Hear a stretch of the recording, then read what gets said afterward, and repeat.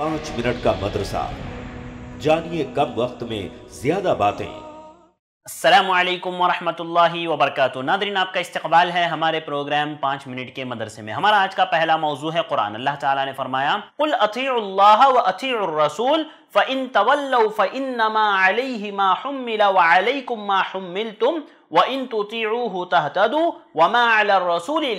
आप कह दीजिए कि अल्लाह का हुक्म मानो, रसूल की इताअत करो।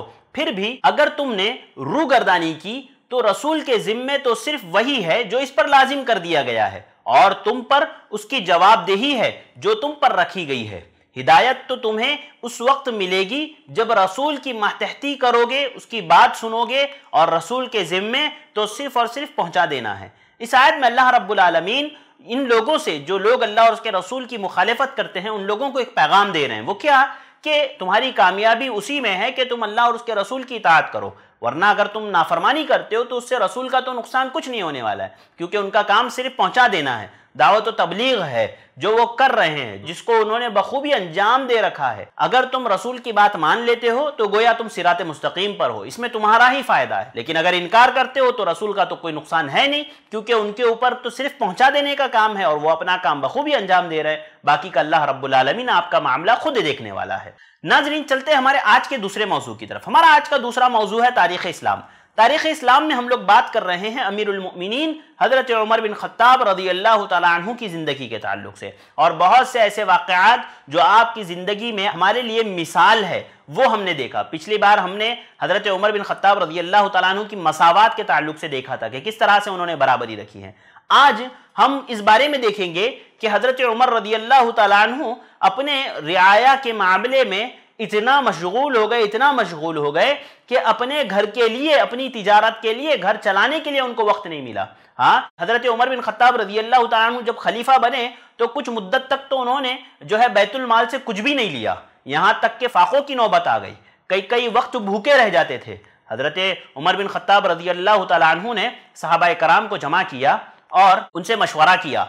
कि देखो, मैं लोगों में और लोगों के मामलात में, खिलाफत के मामलात में इतना मसरूफ़ हो गया कि मैं अपने तिजारत के लिए भी वक्त नहीं निकाल पाया। हाँ अपने गुजर बसर के लिए तिजारत करने का मुझे मोहलत नहीं मिली। अब आप बताइए कि मुझे बैतुल माल से कितना लेना चाहिए? साहबा कराम से मशवरा करने लगे। सोचिए अमीरमिन है, उनको क्या ज़रूरत है साहबा कराम से मशवरा करने की? वो चाहते तो ले सकते थे ना, जो हमारे सियासतदान हैं, वो जिस तरह चाहते हैं उस तरह लेते हैं। लिहाजा वो भी ले सकते थे, लेकिन उन्होंने ऐसा नहीं किया। साहबा कराम की मीटिंग बुलाई, मशवरा लिया। हज़रत उस्मान बिन अफ़ान रदी अल्लाह तु ने कहा कि उमर आप इतना लीजिए कि आप खुद खा सके और आप अपने घर वालों को खिला सके। इतना लीजिए कि आपका भी पूरा हो जाए, आपके घर वालों को भी पूरा पड़ जाए। और सईद बिन जैद ने भी यही बात कही। लेकिन फिर उमर बिन खत्ताब रज़ी अल्लाह तु ने हज़रत अली रज़ी अल्लाह तु से मशवरा किया कि, अली, तुम बताओ मुझे क्या करना चाहिए? हज़रत अली ने कहा कि, आप एक काम कीजिए, दोपहर का और शाम का खाना आप ले सकते हैं बैतुलमाल से। लिहाजा हज़रत उमर बिन खत्ताब रज़ी अल्लाह तु ने उतना ही लेना शुरू कर दिया। आप उसी पर राज़ी हुए और आपने उसी को लिया।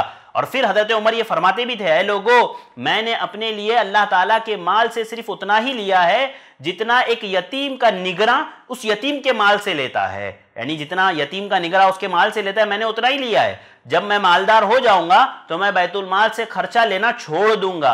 अगर मुझे ज़रूरत पड़ी तो मैं उतना ही लूँगा जितनी की मुझे ज़रूरत है। इमाम अहमद बिन हम्बल रहीमहुल्लाह ने किताब जोहन में नकल किया है कि हज़रत उमर बिन खत्ताब रज़ी अल्लाह तु अमीरमिन थे।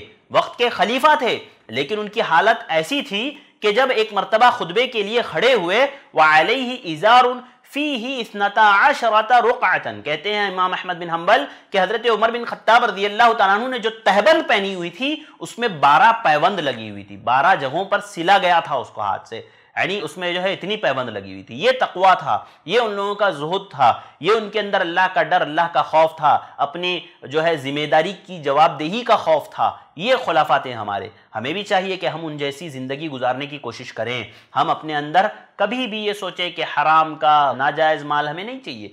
हलाल खाएँगे थोड़ा सा खाएँगे लेकिन हलाल खाएँगे। ये मेरी और आपकी नीयत होनी चाहिए। अल्लाह ताला मुझे और आपको इसकी तोफ़ी अता फरमाए। अल्लाह ताला बुराइयों से महफूज रखें अच्छे अमाल अंजाम देने की तोफ़ी अता फरमाए। आमीन। नादरीन आज के लिए बस इतना ही। मुझे दीजिए इजाज़त। असल वरहमल वर्क अल्हम्दुलिल्लाह इस क्लिप को बनाने में फ़ारूक साहब ने सदक़ जारिया के लिए पूरा ताउन किया है।